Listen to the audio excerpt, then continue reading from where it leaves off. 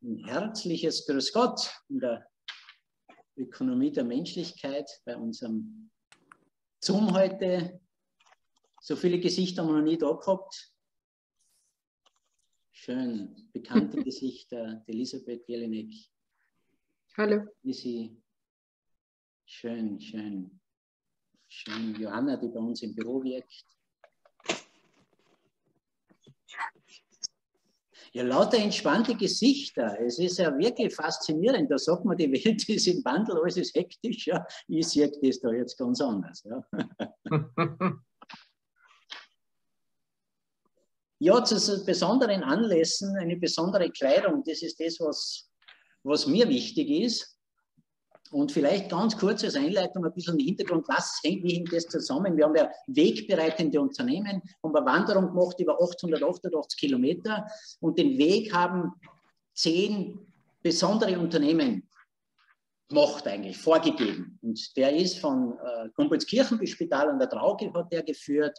Und einer davon ist die Schneiderer Wimmer in Schledorf in der achten Generation.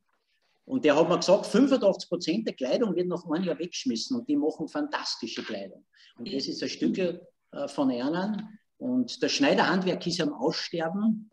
Das könnte sich aber wandeln insofern, weil dieser, diese Schneiderei Wimmer eine Wimmer Akademie gegründet hat. Und da gibt es eine ganze Menge Teilnehmer, die wirklich agieren, die sich was einfallen lassen. Und das steht auch, glaube ich, für die menschliche Zukunft, dass man sagt, wo sind unsere Chancen, wo ist unser Scheidungsmerkmal? Die Menschlichkeit hat ein Gesicht und das ist sicher ganz ein riesiger Vorteil gegenüber äh, globalen Unternehmen, die nur auf Ertrag ausgerichtet sind.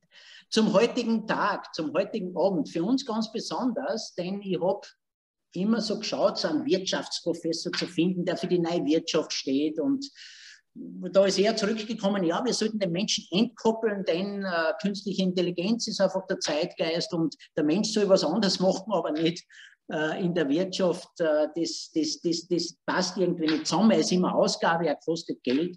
Das war teilweise frustrierend und äh, Matthias Stolz ist schon eine Zeit lang ein Botschafter bei uns, durfte ein Interview machen und äh, das Buch äh, Gespräche mit einem Baum war dann der Anlass, wo man sagt, naja, was hat Baum mit Wirtschaft zu tun? Es geht um feinstoffliche Dinge. Und das Buch hat mich fasziniert und hat Matthias gebeten, äh, dass wir so einen Online-Impuls einmal machen und sagen, ja, was macht denn das Leben aus? Was ist Menschlichkeit? Brauchen wir die Wissenschaft? Gibt es mehr? Und äh, Matthias hat gesagt, sehr, sehr gerne. Herzlich willkommen, lieber Matthias. Äh, ja, was bist du? Äh, Unternehmer, äh, Gärtner des Lebens gefällt mir zum Beispiel so gut, ganz, ganz vielschichtig. Du erfindest ja immer wieder neu, du hinterfragst Dinge. Es macht wirklich ganz, ganz große Freude, die heute dort zu haben. Ja, freue mich auch. Sehr schön. Volles Haus, großartig. Mhm. Schön. Äh, interessant, oder vielleicht noch kurz zum Ablauf. Äh, wir haben einige Fragen im Vorfeld gekriegt, auch wir haben Fragen und äh, wenn sie es einfach in den Chat schreibt und äh, wir dann einfach außerfiltern, ein bisschen zusammenfassen und dem den Matthias dann äh, in dem Sinn stellen. Wir sind ein Fan davon, einen offenen Raum zu lassen. Das sagen wir immer wieder bei unserer Wanderung, dass man nicht genormt vorgeht, sondern einfach schaut, was in dem Sinn entsteht. Und das macht es auch dann lebendig. Das ist auch der Geist derer, die da sind. Äh, und so, wenn wir es angehen, eine Frage vielleicht einleitend, äh, Matthias. Äh, ich durfte ein Interview machen mit dir und äh, äh, du hast gesagt, äh, Irritation ist die Mutter der Innovation. Und jetzt haben wir ja eine ganze Menge an Irritation. Kommt dem noch auch die viel Innovation? Mhm. Ja, absolut. Also ich glaube, dass äh, so viel Innovation kommen wird, wie wir noch nie gesehen haben in den derzeit lebenden Generationen, weil ich das für naturgesetzlich halte. Also viel Irritation, viel Innovation. Wenn es zwickt, dann äh, will was Neues rein. Das ist so wie, wie als dreifacher Vater, sage ich, wie im Kreissaal. Ne? Selten, selten ist im Kreissaal irgendwas, äh, wir, wir stehen ja ein bisschen neben den Schurch dort und sind äh, seltsame Assistenten, haben keine, keine große Rolle, aber wir können ja beobachten und beobachte zum dritten Mal dort schon länger her, dass da nichts Neues auf die Welt kommt ohne Spannung äh, und ohne Zwicken. Äh, also das, Neue braucht das Zwicken, die Spannung, mitunter auch die Krise, um sich vorzustellen. Das ist die Einladung. Also nicht drauf zu schauen, ah, schon wieder Krise, sondern so, ja, erstens ist es so, zweitens Hinweis, hallo, da will was Neues ins Leben. In, in meines, in unseres als Gesellschaft. Also genau hinschauen. Mhm. Will ich es reinlassen oder nicht? Ja. Also nicht automatisch reinwinken, sondern äh, die Frage, also die Achtsamkeit hochfahren und sagen, aha, da klopft was an, genau hinschauen und dann sagen, ja, bitte heiter weiter oder komm einer. Ja. Ja, zum Thema Ängste werden wir sicher noch kommen, äh, Matthias. Äh, wenn ich eine Frage aus dem Buch nehmen darf, äh, Seite 92 habe ich mir notiert, sehr interessant, wir können nur in der Verbundenheit existieren. Und jetzt sagt der Felix Gottwald, der ist ja einer unserer Mentoren, wir sind voneinander abhängige Wesen. Ja. Das mag schlecht klingen, aber worin wird da die Chance liegen, wenn wir die Zusammenhänge, die Verbundenheit erkennen? Ja, dass wir alle eins sind. Also ich finde mehrere Gesichtspunkte. Einerseits, wir sind in Wettbewerb geboren äh, und in Kooperation. Also ich bin nicht von der Abteilung, die sagt, wir müssen nur den Wettbewerb abschaffen, dann wird alles gut. Weil es einfach nicht sein kann. Wir kommen, wir sind außerzeitliche Wesenheiten in, meiner, in meinem Verständnis, die da auf diesem Planeten kommen, werden in Raum und Zeit gebunden, äh, damit in Endlichkeit. Daher kommt der Wettbewerb, weil ich kann nicht alles sein und tun auf dieser Welt. Also ich kann nicht alle Berufe haben, ich kann nicht alle Länder besuchen, ich kann nicht äh, beliebig viele Paarungspartner ausprobieren oder wenn man es ein bisschen rosiger formuliert, kann ich mich auch nicht in alle verlieben. Also ich bin, äh, und wenn ich glaube, ich verliebe mich in alle, werden die anderen entscheiden, dass es nicht so ist. Das ist auch Wettbewerb. Das ist das eine. Es geht darum, den Wettbewerb, dem auch Regeln zu geben, den zu kultivieren, so wie wir es im Sport zum Beispiel machen. Äh, und das andere ist die Verbundenheit, auch eine Conditio Humana, eine, eine, eine Grundbedingung des Menschseins. Wir sind radikal soziale Wesen. Wir können alles nur manifestieren im, als Gemeinschaft. Also, keine Ahnung, mal eine Mona Lisa und vergrab sie im Wald. Das ist kein künstlerischer Schöpfungsakt. Selbst äh, dieser findet nur im sozialen Kontext statt. Ja? Sonst, sonst ist er nicht passiert äh, für uns als Menschen. Radikal sozial. Ähm, wir brauchen einander. Ähm, alles Große haben wir nur miteinander gemacht. Äh, vom Häuser bauen über, über auf den Mond fliegen geht nicht allein. Ich, ich, ich glaube, die Natur, Gespräche mit einem Baum bezeichnet es ja sehr schön, dieses Ineinanderwirken, abhängig sein und gemeinsam was gestalten. Das ist ja der Zeitgeist und der Zeitgeist hat, hören zwar Leute oft nicht gern, wenn ich das sage, aber viel mit dem Weiblichen auch zu tun.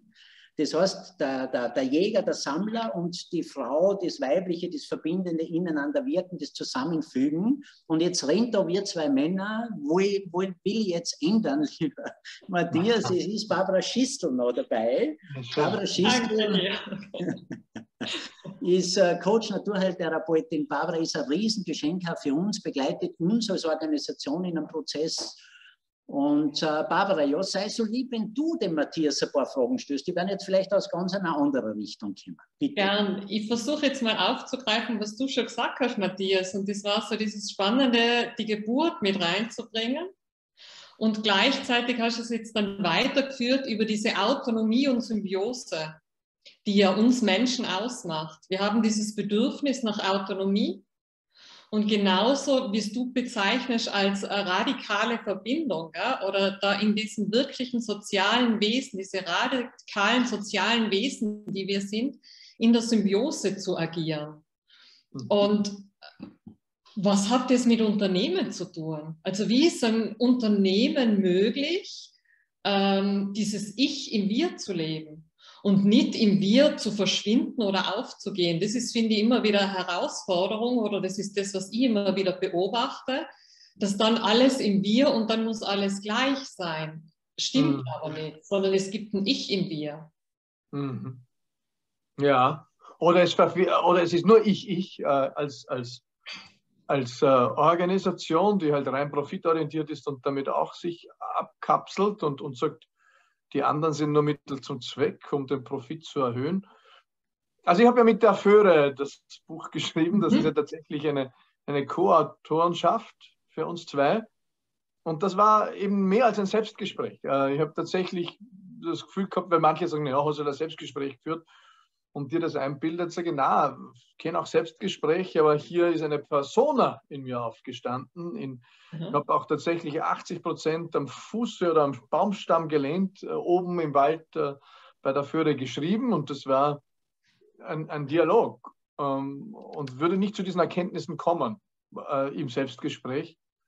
Und ähm, die, die Führer sagt halt, ja, ihr seid schon sehr eigene Wesen. Ne? Wir sind uns irgendwie einig, dass dass wir nicht die Krone der Schöpfung sind. Das ist vermessen, dass das der Mensch von sich geglaubt hat. Ähm, aber wir sind sehr eigentümlich in vielerlei Ausstattungen. Wir, haben den freien Willen wie kein anderes Wesen, weil wir auch das, eine, eine ganz eigene Form und ein eigenes Level an Bewusstheit haben. Ähm, das heißt, wir haben anders als bei dem freien Willen, wir können uns zum Beispiel mobil bewegen, aber wir können auch äh, Entschlossenheit formulieren und dann gehen wir in, in in Pläne und dann setzen wir es, äh, also wir können die Zukunft blenden und dann, dann gehen wir in Umsetzungen.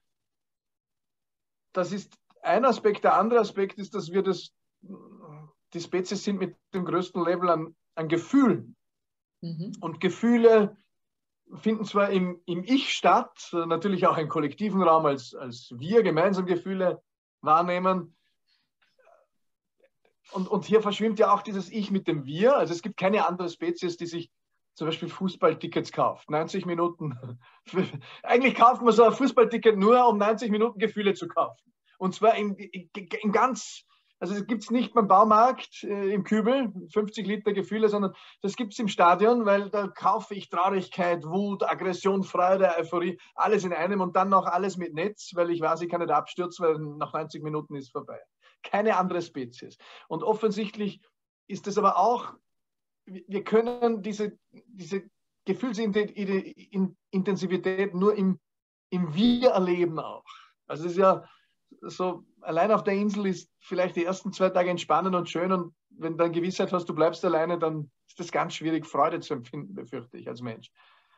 Und die Wirtschaft, in kürzere Antworten, mal ausgemacht, äh, die Wirtschaft ist erfunden meines Erachtens äh, für die Menschen, von den Menschen für die Menschen. Und dort, wo wir es umkehren, wird es äh, pathologisch, wird es krank, pervertiert sich die Idee der Wirtschaft.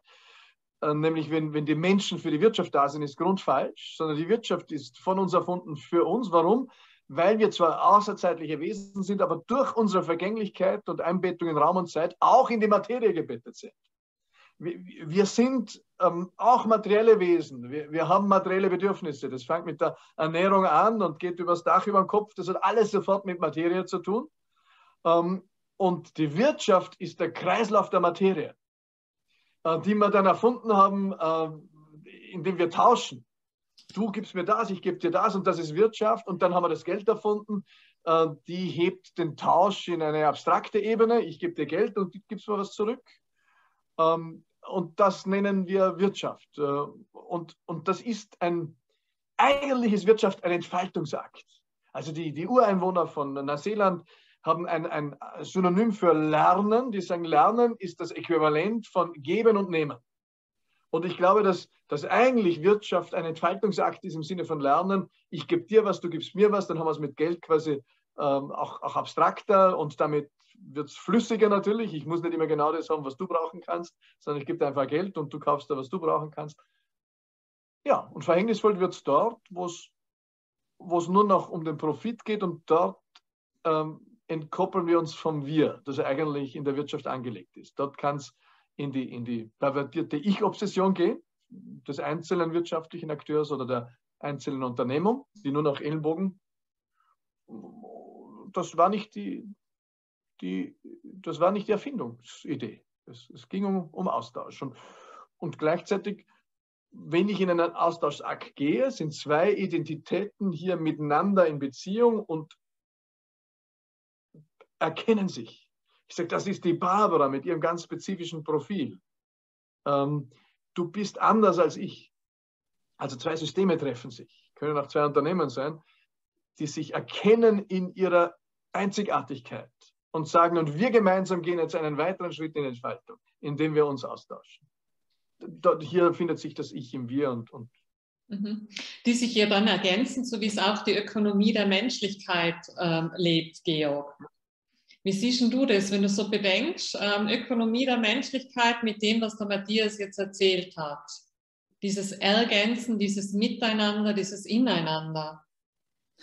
Ja, ich merke halt ganz klar, dass es mit diesem Druck, jeden Tag gleich zu wiederholen im Unternehmen, wenig Perspektive ist für Räume, die dahin führen. Und wir haben es gesehen bei dieser Wanderung, die, die dabei waren, beim Gehen, das sind ganz andere Entfaltungsprozesse, als wenn du im Unternehmen bist. Das ist total an der Zeit, weil wir sehen ja auch bei den Unternehmen, die bei uns an Bord sind, die erfinden es ja immer wieder neu, aber die schaffen sehr Räume. Also was für uns schon die Frage ist, ist, wie schaffen wir es wirklich, Neues zu kreieren? Weil das entsteht nur, wenn ich einen Raum schaffe. Und das sehen wir heute halt immer wieder.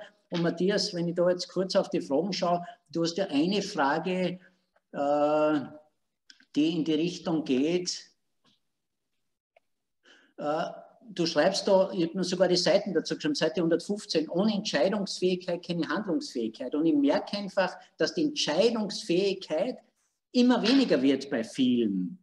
Und somit keine Handlungsfähigkeit, sprich etwas Neues zu tun, da ist. Magst du da wie, wie, wie kann man das lösen? Also wissen da wir ja viel, aber was könnte jetzt eine Lösung sein, dass man diese ganze große Chance dieser 450.000 Unternehmer in Österreich, wir haben die gemeinsam die größte Wirkkraft, dass wir da wirklich in die Gänge kommen und uns eben über die Menschlichkeit zeigen. Also konkret die Entscheidungsfähigkeit, wie können wir die wieder finden, damit wir in die Handlungsfähigkeit kommen? Hm. Ja, das ist eine riesige Herausforderung für uns, weil wir Kinder der, der Post Postmoderne, wir haben so viele Möglichkeiten wie nie zuvor in der Geschichte unserer Spezies. Also ich habe viel mehr Möglichkeiten als meine Elterngeneration. Meine Kinder haben schon wieder mehr Möglichkeiten als ich. Also ich bin mit 18, mit 17, so einem 18. Geburtstag zum ersten Mal am Meer gewesen. Ne? Da lachen sie halt aus, die, die Mittelschüler oder Gymnasiasten und sagen, aha, bist ein bisschen, ein bisschen, ein bisschen, ein bisschen Opfer ne? vom, vom Leben, äh, wenn das so spät passiert ist. Und ja, dafür müssen sie natürlich, sind, sind sie viel mehr in der Qual der Wahl. Ne? Ich habe zwei Fernsehsender gehabt mit zwölf. Meine Kinder haben mit zwölf äh, eben von Radio Maria bis Pornhub äh, täglich Millionen Fernsehsender, äh, mit elf schon. Ne? Das ist verrückt. Ne? Und das knallt viel an die Wand. In, ins Burnout, halbe Million in Österreich schon vor Corona, latent oder manifest im Burnout. Und jetzt sind ein paar hunderttausend mit Depressionen dazugekommen weil wir diese schiere Wucht der Qual der Wahl nicht aushalten. Und das haben wir beforscht schon, äh, schon vor Corona und vor meiner politischen ähm, Phase mit der Uni Wien, Diagnostik, mit der Psychologie Uni Wien, haben wir gesagt, was hilft uns, entscheidungsfähig und damit handlungsfähig zu bleiben in dieser verrückten Welt, in dieser volatilen, unsicheren, komplexen, ambivalenten Welt. Fünf Dinge auszukommen. Erstens Identität, also äh, wisse, wer du bist. Zweitens Beziehungsfähigkeit, Beziehungen halten und gestalten können. Äh, drittens äh, Signalresonanz, die Fähigkeit, frühe, leise Signale zu, zu hören, zu verstehen, auf deren Basis auch entscheiden zu können. Viertens die ähm, Ambiguitätstoleranz, Widerspruchstoleranz, also Widersprüche auszuhalten. Ähm, und dass die nicht an die Wand knallt durch die ganzen Widersprüche, die da jeden Tag da sind, allein während Corona oder jetzt während, während diesen Kriegs, Berichtszeiten für uns jeden Tag fünf Widersprüche. Und das fünfte ist Resilienz, die Fähigkeit, wieder aufzustehen nach Niederschlägen. Das Schöne ist, alle fünf kann man trainieren. Äh, wie Arnold Schwarzenegger sein Oberarm.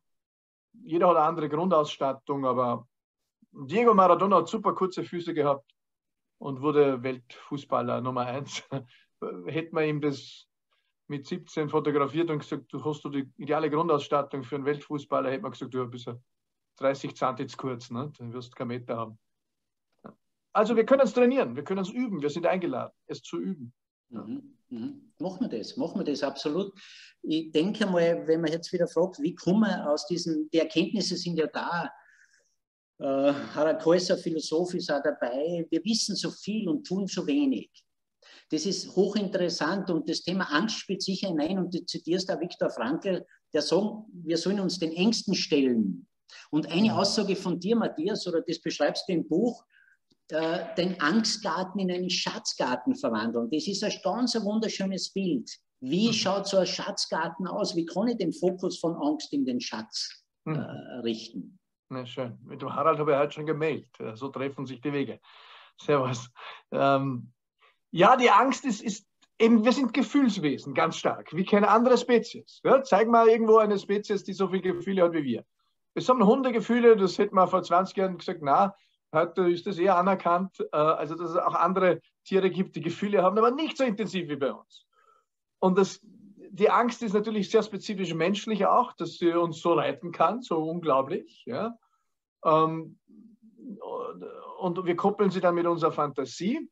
Ja? Ähm, wichtig ist, so wie die, wie die Krise, ist die Angst eine, eine super Türsteherin.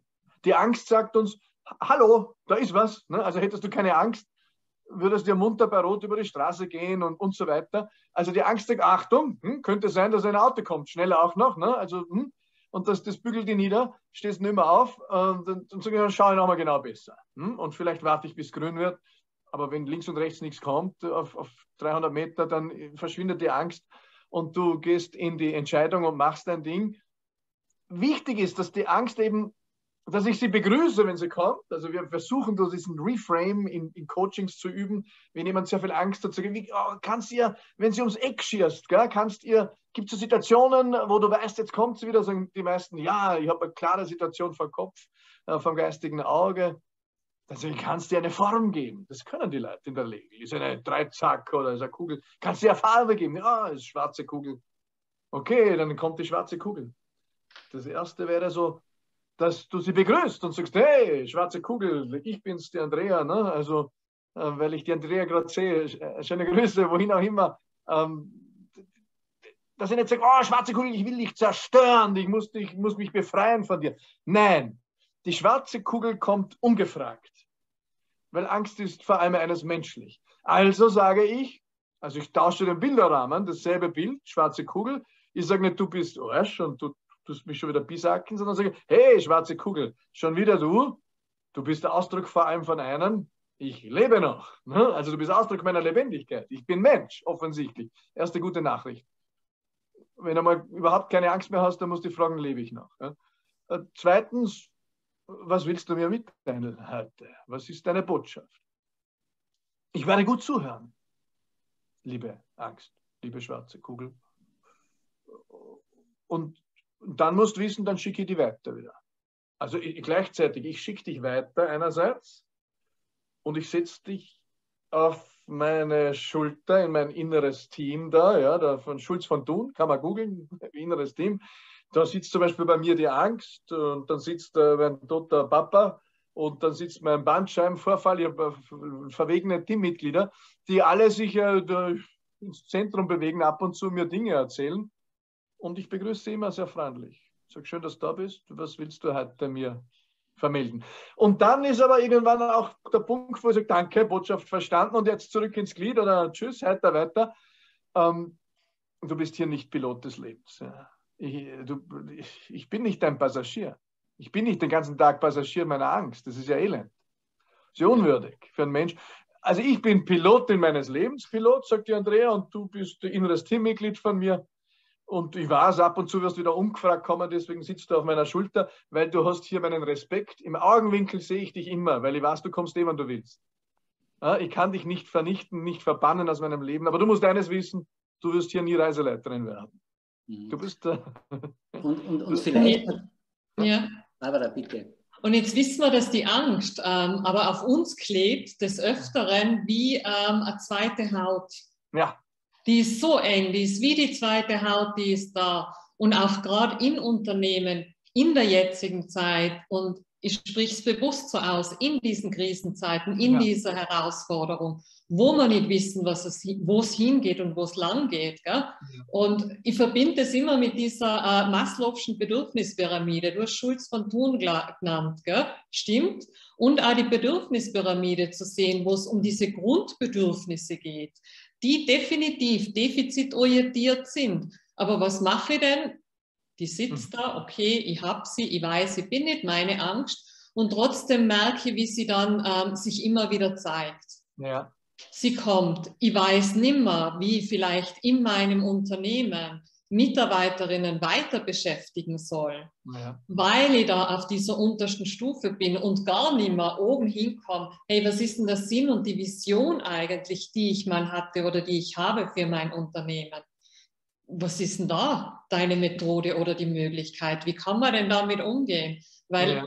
die klebt ja an mir. Ja, ja, ja. Die hat zwar die Kugel, aber die ist einfach da. Die ist da. Was machst du? Dann erzähle ich meines. was würdest du also, machen? was ich mache, weiß ich ganz ja? genau. Ja, ähm, ich bin verbunden mit dieser außerzeitlichen Wesenheit, wie es du nennst. Ich bin verbunden mit dem Geistigen und ich habe in meinem Leben einfach gelernt oder einfach manchmal auch schwierig gelernt, dass es die Herausforderung ist, dass das Denken dem Herzen dient ja. und niemals andersrum. Und wenn ich mit mir selbst und meiner Herzenswahrheit verbunden bin, das ist meine Methode, dann ist Angst kein Thema.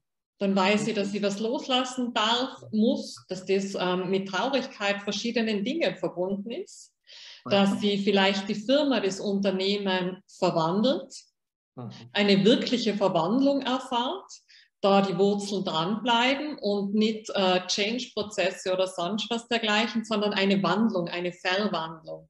Ja. Und da ist für mich dann keine Angst mehr da. Schön. Und das geht auf einer personalen, auf einer individuellen Ebene und auch auf einer unternehmerischen Ebene. Sowohl als auch für dich. Ja. Genau. Du würdest also auch die Seele. So ist auch die Erfahrung, ja. Ja, der Systemiker würde ich auch sagen. Das ist sowohl Personal als auch organisational gelten dieselben Logiken und Regeln, also so wie russische Puppe, weil beide sind Lebewesen, auch eine Organisation für uns als Systemiker ist ein Lebewesen, kann, kann sterben, hm? ähm, hat Bedürfnisse, äh, ist zur Entfaltung gerufen, kann abreifen und ja, ich, sehr ähnlich. Ich hätte andere Worte, würde aber dasselbe tun. In meinem mein, mein vorverletztes Buch, sei Pilot, Pilotin deines Lebens, ähm, da steht ein Modellpart in dem ganzen Buch, nämlich die, die High Five der persönlichen Entfaltung. Auch auf der Organisationsebene so. Und das hat fünf Schichten. Bewusstwerdung, Loslassen. Dritte Schichtung ist mit dem inneren Ort, mit der Berufung in Verbindung gehen. Und das wäre genau dieser Punkt. Ähm, wenn ich unter Bedrängnis komme, im Hier und Jetzt, äh, in Raum und Zeit, dann bin ich eingeladen, Zuflucht bei mir selbst zu finden, und zwar in meiner Essenz, in meiner, in meiner, im Kern meiner Wesenheit. Und das wäre Otto Schama, MIT, also wissenschaftliche Währung, spricht vom inneren Ort.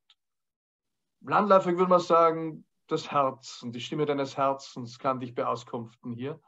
Also es ist genau dasselbe wie du. Das heißt, ich muss zurück zu meinem wichtigsten Ankerpunkt und dort fragen, in dieser Essenz, was kann und will und werde ich der Welt jetzt bedeuten? Und möglicherweise ist das dann ganz eine andere Manifestation. Also wenn ich gekommen bin, Kindern ein Zuhause zu geben, als SOS-Mitmensch beispielsweise, oder als SOS-Kinderdorf, dann muss ich mich 2022 fragen, und in welcher Form mache ich das heute? Möglicherweise ganz anders als vor, vor 80 Jahren, keine Ahnung. Also hier kommt dann Aristoteles und sagt, deine Berufung liegt dort, wo deine Talente die Bedürfnisse der Zeit treffen. Stell dir vor, deine Talente sind äh, ein Fluss und stell dir vor, die Bedürfnisse der Zeit sind ein Fluss. Und Achtung, unter Corona-Bedingungen, unter Kriegsbedingungen, unter, unter Krisenbedingungen verlegt sich der Fluss der Zeit, der meandert quasi. Und du hast einen anderen Schnittpunkt mit deinen, mit deinen Talenten. Und so kann ich mich auch fragen, okay, ich habe also bin als Tischlerei gegründet vor, vor 70 Jahren. Was, sind, was war meine Sendung? Was sind äh, die uns innewohnenden Talente als Unternehmen? Und wo kann man die heutzutage brauchen? Und möglicherweise hupft dann was anderes aus, was Tischlerei 2.0 ist. I don't know, ja, aber das, das muss man dann, da würde ich nichts vorgeben wollen, weil es die Fantasie schon wieder blockiert, sondern nur die Fragestellung, was kann ich gut, was mache ich gern? Das ist der Hinweis auf die Talente und wo kann man das heutzutage brauchen? Nicht, genau. nicht am selben Ort wie vor fünf Jahren möglicherweise. Ja, was auch immer es sein mag. Und so wird es, ja. genau, und so wird aus meiner Sichtweise jedes Unternehmen wie ähm, zu einem lebendigen Wesen. Ja, total. Und das, das ist das. Tun. Viktor Frankl würde sagen, weg vom Warum. Also warum passiert die Krise mir? Ne? Da war in vier Konzentrationslagern inhaftiert und hat äh, rundherum sonst gestorben. Äh, das war die die, die normale Tagesordnung. Und das Warum, man sagt, er hätte mich in diese grobe Problemspirale gebracht, äh, auch in die Opferhaltung. Warum gerade ich? Ja, jetzt das vierte Lager. Wozu? Also er stellt eine, eine Frage, die, die ihn konstruktiv produktiv macht. Und äh, er hat sich genährt von der Vorstellung, ich werde auf allen Kontinenten in Universitätshörsälen lehren, was ich hier gelernt habe über den Menschen in diesen Lagerstraßen. Und das hat ihn am Leben gehalten, das, das Wozu. Und das hat aber schon einen Zug gehabt in ein Bild der Zukunft. Also auch der, der Otto Scharmer sagt dann in der Theory U MIT, leading from the future as it emerges. Also einerseits gut verankert sein im Hier und Jetzt, sich dann aber ziehen zu lassen von einem Bild der Zukunft und, und nicht zu sehr in der Krise nach hinten schauen und sagen, am besten noch die Schuldfrage wälzen, jahrelang und, und die Opferhaltung. Die, die hält dich in der Opferrolle und in der Kraftlosigkeit. Und finde ich spannend, dieses Wo, dieses Wo zieht es mich hin, dieses, dieser Zug, der da entsteht. Und aus dem heraus entsteht aus meinem Blickwinkel, aus meiner Perspektive wiederum sowas wie ein Magnetismus. Ja. Also wir sind dann sogar weg von dieser Sogwirkung, die immer beschrieben wird, oder nochmal früher, wie es war, ähm, wir schauen, wie wir möglichst gute Abhängigkeiten in Firmen und Organisationen kreieren. Aber wir müssen auch keinen Sog mehr erzeugen, sondern das ist ein natürlicher Magnetismus. Es kommt alles auf dich zu dann. Du musst nur, genau. du musst, äh, die Fülle des Lebens kommt dann auf dich zu. Du brauchst allerdings die Kraft und die Aufrichtung, deswegen musst du immer wieder in die Aufrichtung gehen, ähm, zu entscheiden, aus der Fülle des Lebens die Einladungen zu sortieren. Also das ist, die äh, nicht mehr auf den Berg gehen mit der Stoppuhr, die sind zwar schneller oben, aber sehen all die Einladungen des Lebens nicht, ähm, sondern äh, all die Einladungen des Lebens sehen. Achtung, da ist eine Dotterblume, die zum Verweilen einlädt. Achtung, da ist die, die, die Barbara, die mich einlädt, mitzugehen. Da ist ein alternativer Gipfel, der lockt. Da ist der Adler, äh, der singt. Ich muss dann aber immer entscheiden, widme ich mich dem oder nicht. Aber die Fülle des Lebens kommt, wenn, wenn ich also ich habe ein Zukunftsbild und lasse es auch schon wieder los, äh, weil es mich, äh, mich eh äh, zieht. Und das ermöglicht mir dann, mich in, in der Fülle der Einladungen des Lebens ähm, schöpfen zu lassen. Und dafür sind wir aber wieder, Georg, bei dem Punkt, wo ich die Entscheidungsfähigkeit brauche. Weil wenn, wenn ich diese nicht habe, deswegen ist Selbstfürsorge für uns so wichtig in Zeiten der Krise, weil ohne Selbstfürsorge bin ich nicht entscheidungsfähig. Ähm, wenn ich allerdings hier in der Kraft bin, kann ich entscheiden. Und dann kommt auch automatisch, weil manche sagen, das ist aber sehr egoistisch oder egozentrisch, nein, nein, naturgesetzlich als soziales Wesen, wenn wir eben ähm, gut in der Selbstfürsorge sind, erwacht automatisch auch der Wunsch, äh, Fürsorge zu übernehmen für andere und eben äh, soziale Verantwortung zu übernehmen. In Familie, im Beruf, in Vereinen, in Kultur, Politik, wo auch immer. Skiverein. Ja, ich glaube, da braucht man aber Matthias den fühlenden Teil in uns, um das wahrzunehmen, ja. Zusammenhänge auch zu verstehen. Weil ich finde jetzt die Zugänge interessant, aber sehr theoretisch. Ich sage mir immer als Praktiker, mhm. wie sehe ich das? Wie setzen wir das um? Wie schaffen wir uns ein schönes Leben? wir haben es selber in der Hand. Wenn wir ja. jetzt bei den Unternehmern bleiben, wir haben 450.000. Wenn wir nur mal 20 Prozent nehmen, sind 90.000, wenn die die Zusammenhänge verstehen, die ein größeres Interesse haben, die investieren, weil das mit der schwarzen Kugel, ich sage einmal 99 Prozent, die, der, die, die, diese Kugel ist eine Illusion. Das ist keine Angst, die ist in mir entstanden. Ja. Und vor allem, glaube ich, auch deshalb, Matthias, weil wir im Kopf alle miteinander krank sind. Wir haben eine Perspektive immer in Bedrohung, das Leben ist lebensgefährlich, sollten wir uns damit abfinden. Und wenn wir den Fokus wirklich auf Lösungen richten, und wir haben es erlebt, die Laura ist da, die, die, die Lisi ist da, das ist, wir haben, wir haben denen gar keinen Raum gegeben. Wir haben immer geschaut, wie, was kann ein nächster sinnvoller Schritt sein. Und dieses wirklich Lösungsdenken, das, glaube ich, haben wir verlernt. Und das wäre, glaube ich, die ganz, ganz große Chance, dass es leichter wird. Wir haben in der Ökonomie der Menschlichkeit Freude, Leichtigkeit, Vertrauen mhm. als Kennwörter. Wenn du heute den Unternehmer fragst, ja, Freude, Leichtigkeit, Vertrauen wäre schön, aber und dann sieht er wieder sich isoliert. Was soll ich denn schon machen? Wir sind die Größten. Wenn man, wir haben 35.000 Ladengeschäfte. Die haben eine riesige Macht. Und dieser Rahmen Ökonomie der Menschlichkeit, da können wir uns sagen. Das ist aber eine wahrhaftige Geschichte und Wahrhaftigkeit kommt auch von Felix Gottwald, weil da zeige ich dann ganz transparent, wo kommen meine, meine, meine äh, äh, Ressourcen her? Wie verarbeite ich das? Wer steht dahinter? Und wenn wir so ehrlich sind und uns das trauen, das zu zeigen, haben wir eine riesige Chance. Warum?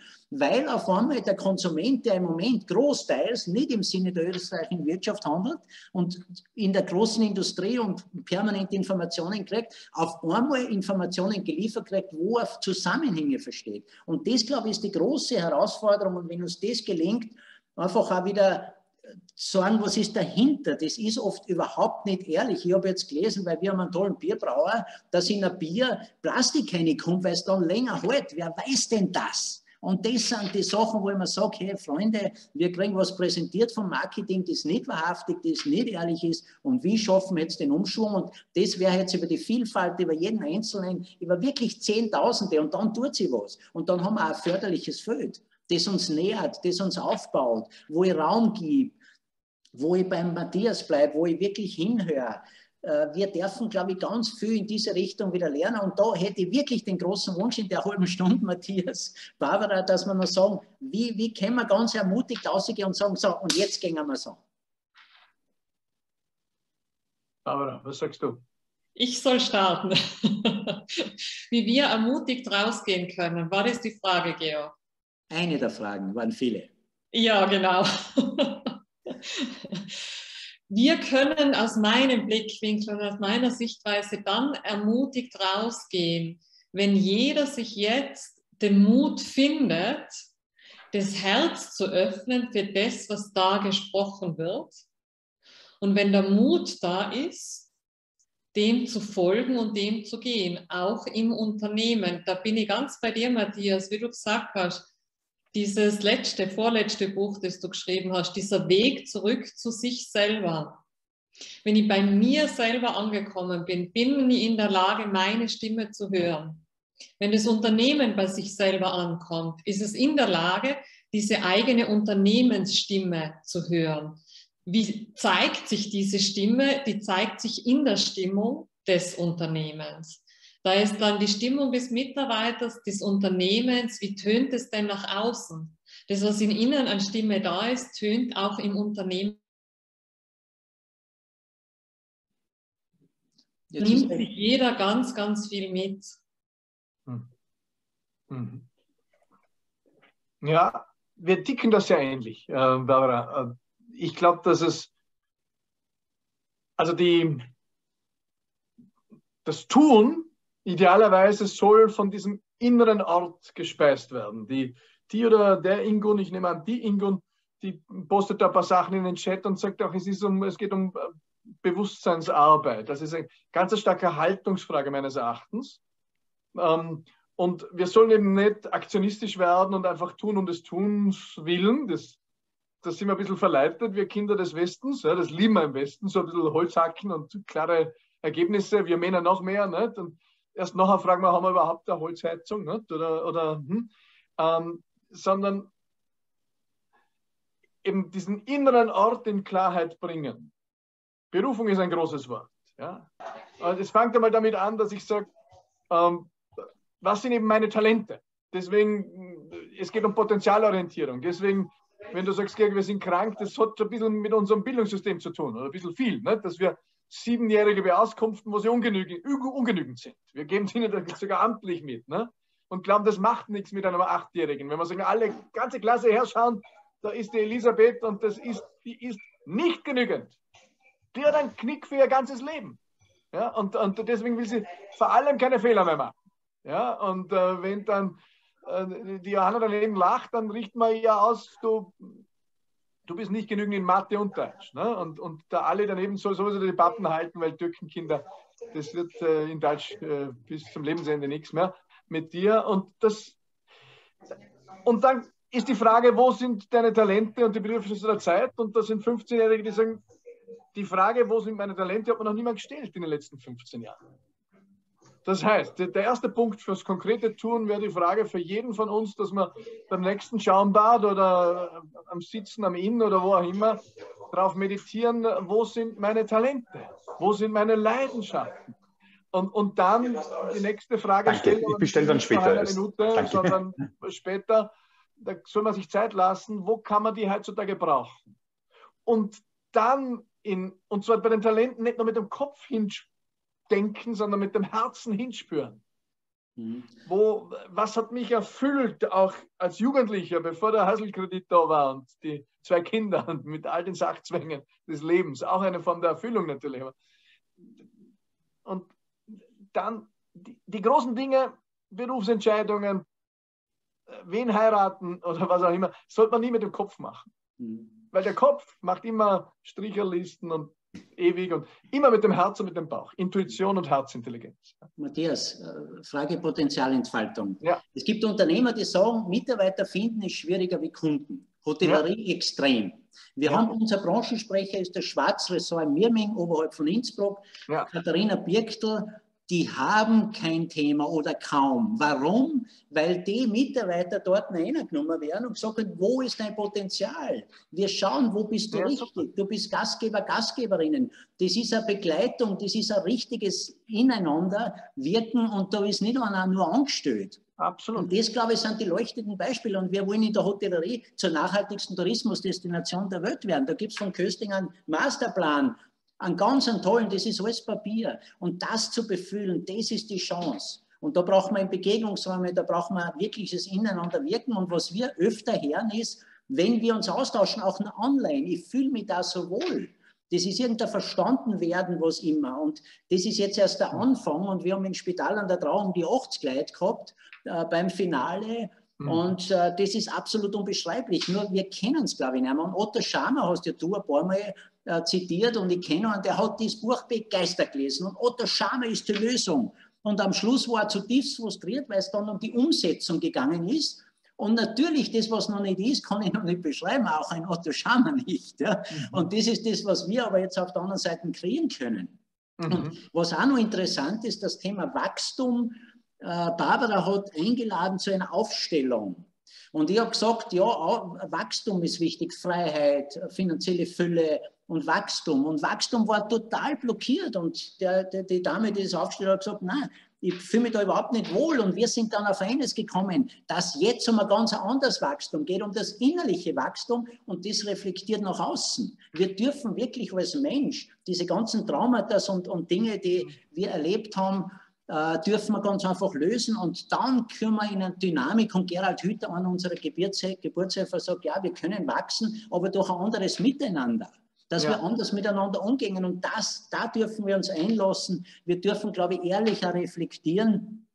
Und das ist ganz, das, das ist, glaube ich, die ganz spannende Chance, auch wenn wir, wenn wir was sagen dürfen. Und das haben wir im Team.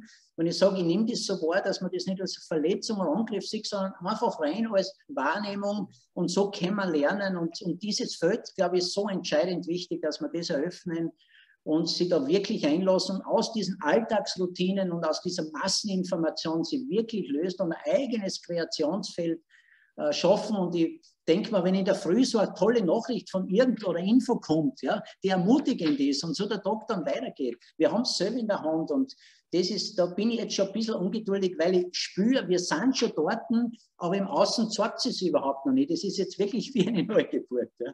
Ich, ich glaube, dass das sich an vielen Orten zeigt ähm, und an manchen halt nicht. Also ich glaube auch, natürlich Fachkräftemangel sehe ich alles. Auf der anderen Seite, wenn ich etwas mache, auch unternehmerisch, das vom Herzen geführt ist, dann werden mir Leute zuströmen, weil die erkennen authentisch Wahrhaftigkeit hier und die sagen, das trifft, uh, da bin ich berührt, ja, da bin, und da, das ist auch mein, mein Herzblut und und natürlich ist die Sehnsucht, was ist es jetzt genau in meinem Leben, aber das kann jede und jeder nur selbst beantworten. Also so, weil dann auch manche sagen, auch beim Buch, sei Pilot, Pilotin deines Lebens, da steht regelmäßig Anna dann auf und sagt, ja, das ist aber was für dich oder für Studierte oder für den Marcel Hirsch und dich, die die Hosen voll haben zu stinken. Sagen, na, na erstens, ich tue da fleißig meinen Heiselkredit abzahlen, ab, äh, bin da lange fertig. Ähm, also das ist das eine, aber das andere ist, es ist für jeden Menschen. Das ist, äh, die Heldin in meinem Buch, der Pilotin deines Lebens, ist die Pia. Und die Pia ist Tochter von, von zwei Elternteilen, die, die einen kleinen Gastrobetrieb haben und die Pia natürlich in eine Gastrolehre schicken. Und daran ist nichts falsch grundsätzlich, nur dass es nicht die Berufung der Pia war. Und dass sie nicht gefragt haben, was ist deren Talent und was ist deren Bedürfnis, was ist deren Leidenschaft. Sondern wenn halt zwei Elternteile auf dir knien mit 14, dann bist du relativ rasch Passagierin der Erwartungen deiner Eltern. Weil mit 14, da wärst du nicht gegen beide. So, was hat die Pia gemacht? Die hat mir die Haare geschnitten, äh, Mitte 20 war sie, sage ich, aber du bist nicht in der Gastro, ne? Du bist ja was anderes worden. Sag ich, wie ist jetzt, und sie hat so gestrahlt. Sag ich, hey, du liebst deinen Job. Friseurin, oder? Sagt sie, ja. Sag ich, wie ist das gelaufen? Ich schreibe da ein Buch über Berufung. Erzähl. Dann sag ich, ja, das war so. Also, ich habe dann die Lehre gemacht, Gastro. Und dann gab es den Tag, da bin ich heimgekommen mit dem Abschlusszeugnis, habe den auf den Tisch gelegt, den Wisch und habe gesagt, ja, das ist meine Gastrolehre, die habe ich heute abgeschlossen. Und übrigens, das ist mein Lehrvertrag als Friseurlehrling. Und sie sagt, weißt du, ich habe bei den schulpraktischen Tagen schon gespürt, und das ist eben nicht im Kopf, im Herzen, ich habe gespürt, es, es, es gibt nichts Größeres für mich, als die Haare zusammenzukehren in einem Friseursalon. Wo, wo 98 Prozent oder 99 sind, das ist das Letzte für mich, keine Ahnung. Aber wir sollen das nicht bewerten, sondern sie hat gespürt, hier ist ihre Leidenschaft. Hier ist ihr Talent. Ich habe am liebsten meine Freundinnen frisiert und, und geschminkt. Das habe ich geliebt und ich liebe es heute, wenn, wenn Männer oder Frauen rausgehen und beim Ausgehen noch einmal sich umdrehen und ein Grinsen im Gesicht haben und ich weiß, ich habe einen Beitrag geleistet, dass sie heute eine Freude haben. Und, und äh, an dem Tag ist sie von der Passagierin der Erwartungen ihrer Eltern zur Pilotin ihres Lebens geworden. Mit 17 oder 18. Und wenn es die Pia kann mit 18, kann es jeder von uns. Ähm, da gibt es keine Ausrede. Und ich kann es mit, ich kann's, dann habe ich diese Fuck-Up-Show gemacht für Puls 4 und da kommt der, der Wolfram, 72. Da sage ich, Wolfram, erzähl du deine Geschichte. Übrigens, mir gelingt auch nicht alles. Ja, diese Fuck-Up-Show haben sie abgesetzt, weil ich schlechte Quote gehabt habe oder, wir. Ja. Aber da, du, du, wenn dich neu erfindest mit 40, 45, 50, gelingt dir nicht alles. Du bist Lehrling noch einmal. Und du darfst auch lernen und es darf auch möglicherweise äh, nicht in der Meisterschaft enden. Du musst ein bisschen ist die Schichtung 4, Form geben, Prototyping, Prototypen machen. Und der Wolfram erzählt, sage, wie, wie ist das bei dir? Was machst du?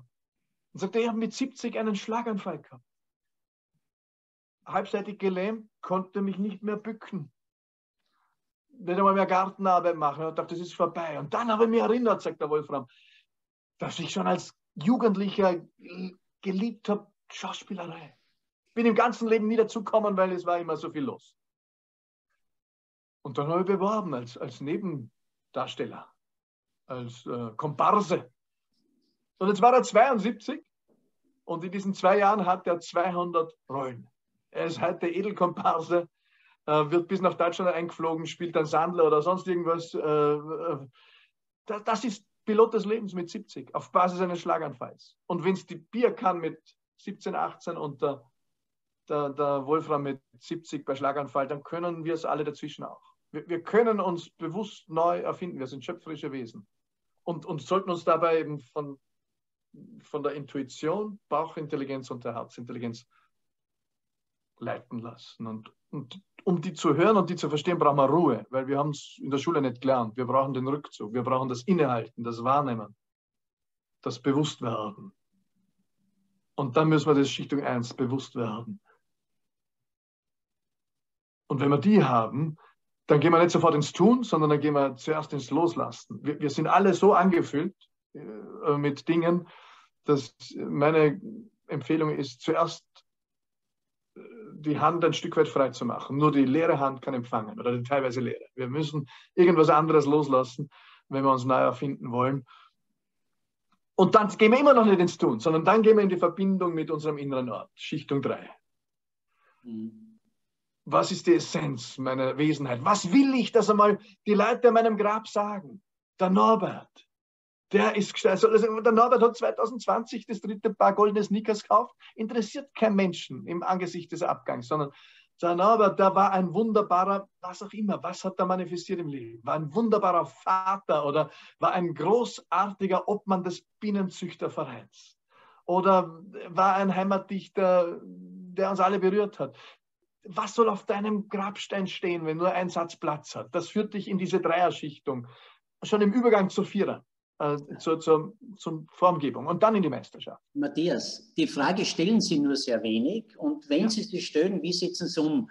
Ich glaube, eine schöne Verbindung, Martin Bortenschlager hat geschrieben, ich weiß zwar jetzt nicht auf was bezogen, ich habe gerade Gänsehaut bei diesen Aussagen, das ist, glaube ich, wirklich der Weg für die Zukunft. Oft reicht es ja, Räume zu schaffen. Und das ist für mich der ganz entscheidende Punkt. Der Raum, wenn wir den uns selbst geben, einen inneren Raum für was Neues und im Außen dann kann wirklich was entstehen. Und wenn das jetzt also ein gemeinsames Anliegen wäre, wo wir sagen, wie erfinden wir Wirtschaft neu, wie, wie, wie, zeigen wir Menschlichkeit, wie schaffen wir Räume mit all diesen Herausforderungen, die wir haben. Weil es ist ja interessant, bei der Wanderung ist oft gekommen, ich, ich, ich, ich würde ja gern, aber ich muss, immer ich muss. Und dann haben wir ein paar Unternehmer, der Andreas äh, äh Sedal ist da oder, oder Wimmer Stefan, die haben einfach gesagt, ich tue. Und das war keine analytische Entscheidung, sondern die war aus dem Herzen. Und die war dann so bereichernd. Und wie schaffen wir das wirklich aus diesem Gefängnis, aus dem täglichen auszubrechen, in eine neue Richtung? Und es geht um Co-Kreation bei dem Ganzen. Und uns fragen oft Unternehmer, was macht ihr denn genau? Und dann sage ich, hey, wir kreieren gemeinsam und du bist gerade an Bord gekommen und willst wissen, was wir kreieren, wo wir noch gar nicht gesprochen haben drüber. Das mhm. ist total anstrengend, mhm. aber es gibt einen, einen kleinen Teil, da macht es riesigen Spaß, weil die spüren, die fühlen. Und wenn wir zu einem fühlenden Denker werden, dann haben wir es geschafft. Aber da ist jetzt definitiv Zeit und da sind so viele Freigeister, so viele interessante Leute in dem Zoom heute schauen wir einfach, dass wir schöpfen. Wir werden da dann im Nachgang, werde den Niklas bitten, wir haben so eine Datenbank, Ideen einfach einmal sammeln, alles einbringen. Echt, da ist der für Dynamik entstehen. Ich habe hab über die zehn Jahre, wo ich jetzt unterwegs bin mit dem Netzwerk, so viel so viele Menschen kennengelernt, die was initiiert haben, die was gemacht haben. Aber es ist halt immer wieder ganz was Kleines zum hundertsten Mal neben andere. Und es darf uns jetzt gelingen, dass wir was Großes, Gemeinsames machen. Und wenn wir die Menschlichkeit oben hinstellen, Wirklich, wir wollen Mensch sein, wir wollen ein gutes Leben haben. Das ist ja das, was wir wollen. Und wir hatschen herum, sind egoistisch, dann Dinge, die überhaupt nicht den Kreislauf dienen, wissen oft nicht, was passiert im Hintergrund. Und diese Transparenz, wenn wir sagen, dann haben wir wirklich eine Chance. Und Matthias, du hast enorm viel Kraft, da wirklich auch mit deinem Buch ein Wegbereiter in eine wirklich neue Zukunft zu sein. Und Gerald Hütter hat gesagt, ich habe es mit Kindern probiert äh, Zivilgesellschaft. Ich bin zutiefst überzeugt, der Wandel geht nur über die Wirtschaft. Warum? Weil die muss sie neu erfinden, sonst ist sie nicht mehr da. Und desto größer die Schmerzen sind, desto größer die Chancen. Schmerzen sind jetzt groß. Jetzt nutzen wir einfach in dem Sinn die Chancen. Und da ist jetzt definitiv Zeit. Und wenn du jetzt in den fünf Minuten nochmal, Matthias, oder du vielleicht, Barbara, gemeinsam mit Matthias, jetzt sagst, ja, was tun wir denn konkret? Mir ist das immer so wichtig, dass man dann was hat, wo man sagt, okay, und jetzt sind wir einen Schritt weiter. Ich, muss, ich will das sehen. Ich will das sehen im Außen, dass sie was da hat. Dass wieder Unternehmer erfreut sind, die was Neues kreiert haben, wie immer. Das Konkrete braucht man. Hm.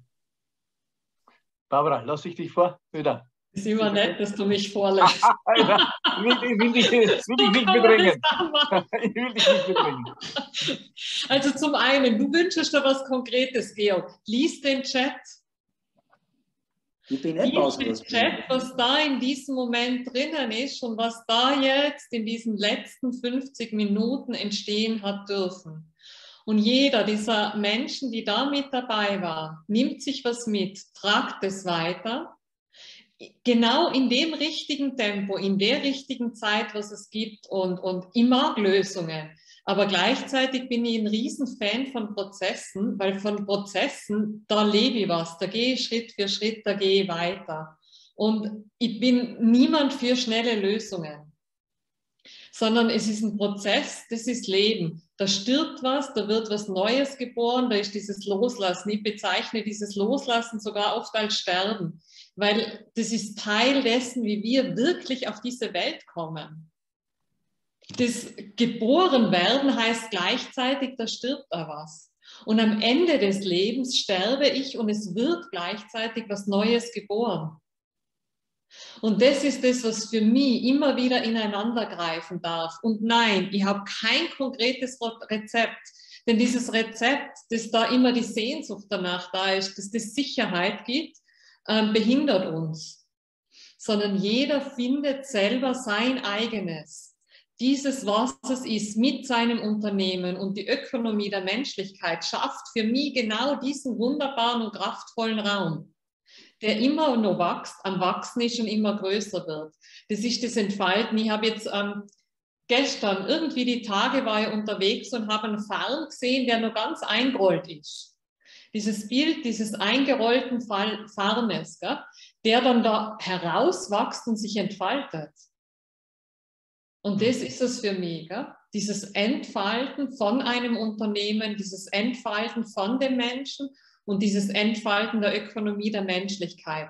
Und aus meiner Perspektive geht es gar nicht konkreter. Mhm. Matthias, jetzt habe ich recht viel geredet. Dein Interview. Ja, auch wieder denselben Ansatzpunkt. Ich habe in den Chat hinein die Links gegeben, auch von diesem Modell, der, diesen fünf Schichtungen der Entfaltung. Das ist ein, ein systemisch integrales Modell, das heißt kein sequenzielles im Sinne von erster Schritt, dann ist er vorbei, zweiter, sondern diese fünf Schichtungen sind alle Zeit gleichzeitig in uns aktiv, aber es gibt eine, wo ich gerade, wo die Musik spielt. So wie beim dritten Jahresring vom Baum ist, sind ja auch nicht die anderen zwei tot, sondern die Musik spielt im dritten. Und ich würde sagen, wenn es konkret sein soll, dann lade ich jede und jeden ein, in diese erste Schichtung des Innehalten, Wahrnehmen, Bewusstwerden. Also, dass der Heimo und dass die Irmgard und der Erwin und die Angelika, jeder sich vielleicht heute Abend fünf Minuten oder eine Stunde oder zwei Stunden in einem Waldspaziergang Zeit nimmt und sich vorstellt, da vorne draußen ist ein Helikopter, der auf dich wartet. Der ist CO2-neutral und völlig äh, geräuschlos. Und mit dem steigst du auf. Und der kommt weit über dir zu stehen. Und dann kannst du ihn mitnehmen in den Wald oder ins Schaumbad. Und wenn du in dem Helikopter bist, völlig alleine und in Ruhe, dann schau aus, es ist völlig sicher und schau in dein Leben runter und, und widme dich einfach der Frage, was ist? Was ist in dem Leben da unten von der Johanna, von der Angelika, vom Norbert? Hey, was, was höre ich da unten? Was sagt die, was sagt mein Mann? Was sagt meine Nachbarin da? Hey, was sagt mein verstorbener Papa? Was sagt da meine größte Tochter? Was sagt mein Hund hier? Ähm, was sagt mein Rücken, mein Oberschenkel? Wir alle haben sprechende Körperteile, wir hören noch nicht zu. Ähm, aber so ab 45 melden sie sich dann eh, nicht? wenn wir nicht zugehört haben. Zunehmend mit Diagnosen. Ähm, also was sagt meine linke Hand, die da immer eingeschlafen ist in der Früh? Oder was sagt mein Knack, das steif ist? Was spüre ich da unten? Was ist an meinem Arbeitsplatz? Was ist in meiner Ehe? Was ist in meinem beruflichen Tun? Innehalten, wahrnehmen ins Bewusstsein kommen. Und von dort dann, wenn, wenn meine Erkenntnis ist, meine Ehe ist großartig. Mein Rücken sagt mir, du behandelst mich super. Und mein Beruf ist Meisterschaft, Verkörperung mit meinen Talenten am richtigen Platz. Dann würde ich sagen, nichts ändern. Weiter, weiter. Du bist in der Meisterschaft, in einer privaten Rolle oder beruflich. Und wenn ich zum Bewusstsein komme, hey, eigentlich meldet sich der Rücken seit drei Jahren und jetzt kann ich ihm zuhören oder nicht. Wenn ich ihm nicht zuhöre, dann kommt er wahrscheinlich mit einem Bandscheibenvorfall ums Eck nächsten Monat oder nächstes Jahr. Oder wenn das Herz sich meldet seit vier Jahren, dann kommt es wahrscheinlich mit einem Herzinfarkt, wenn ich nicht zugehört habe bisher. Dann, dann ist der Veränderungsimpuls eh schon da. Dann gehe ich aber nicht sofort ins Tun, sondern die nächste Frage wäre eben, und herzlich eingeladen, hier auf den Link zu gehen für dieses fünfschichtige Modell. Die nächste Stufe wäre es loslassen. Was bin ich bereit loszulassen? Das wäre ganz konkret. Bevor wir sagen, was will ich tun, wir sind eben Kinder des Westens, tun, tun, tun, tun, tun, ist eine Obsession von uns, ähm, zuerst mache ich Platz in meinem Leben, weil erst dann kann man das Leben Einladungen schicken und bringen aus der Fülle. Also die nächste Frage wäre, das wäre das Schaumbad am Tag drauf oder also nicht so viel. Ähm, oder der Spaziergang, Waldspaziergang oder an die Salzach hocken. Entlang der Frage, was bin ich bereit loszulassen? An Materie, an sozialen Rollen, an Gefühlen, an Beziehungen, an Glaubenssätzen, an Erwartungen. Ja, da sitzt eine 62-jährige Ärztin bei mir im Coaching und die sagt, mein Vater hält mich für eine schlechte Ärztin. Sage dein Vater? Dein Vater ist doch tot. Sagt sie, ja, seit zwölf Jahren. Dann sage dann lass los! Lass los! Lass los die Erwartungen deines toten Vaters. Ist absurd zu glauben, dass der auf der Wolke 7 hockt und sagt, bist du eine schlechte Ärztin. Das sind, wir kriegen ab und zu äh, ganz beschissene Dinge in den Rucksack unseres Lebens und manche Eltern müssen ihre Kinder klein machen, um sich selbst irgendwie größer zu machen. Aber trag's nicht bis an dein Lebensende. Das kostet die äh, zwei Bypässe im, im Herz, wenn du es noch weiter tragst. Lass los. Lass los. Und mitunter muss man das rituell machen. Wir gehen in den Wald und verbrennen es oder setzen es auf die Donau und schicken es ins Schwarze Meer. Ja?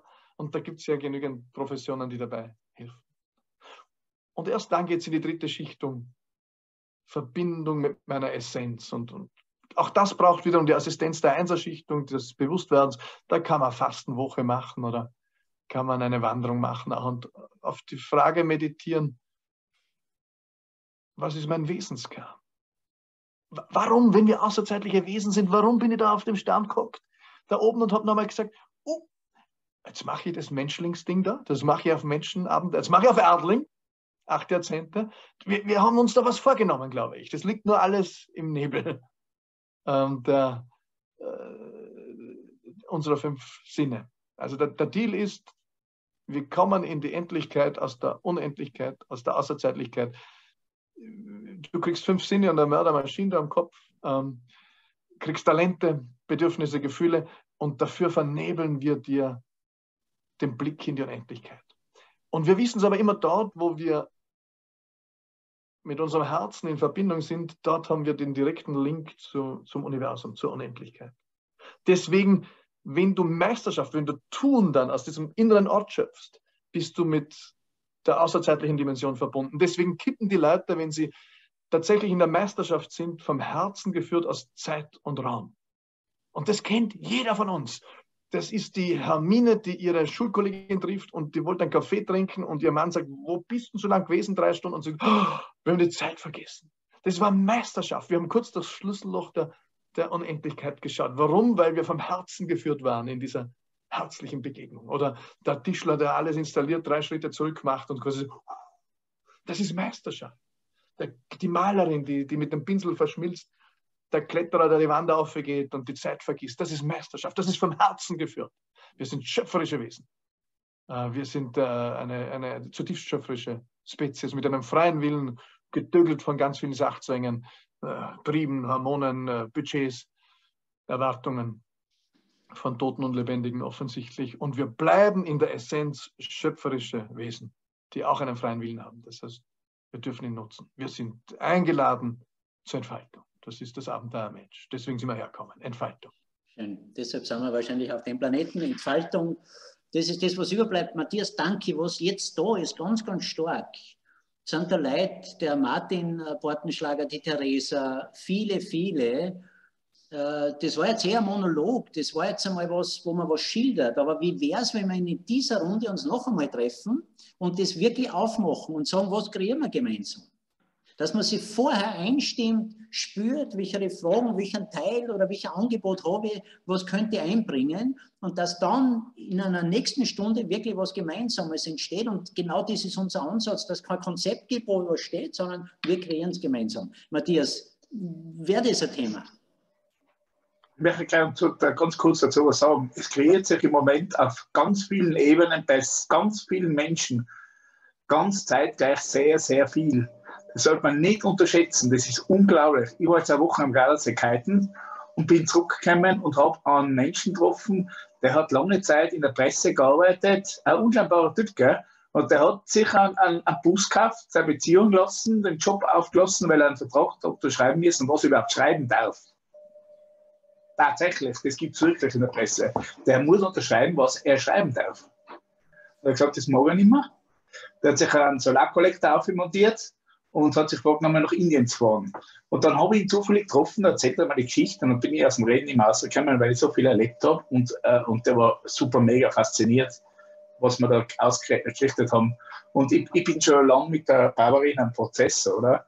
Und da passieren so Sachen jetzt im Moment, dass ich draufkomme, dass einfach Ideen, die ich vor 20 Jahren gehabt haben und die völlig absurd waren für Leute, gell, die plötzlich auf einmal nicht mehr absurd sein.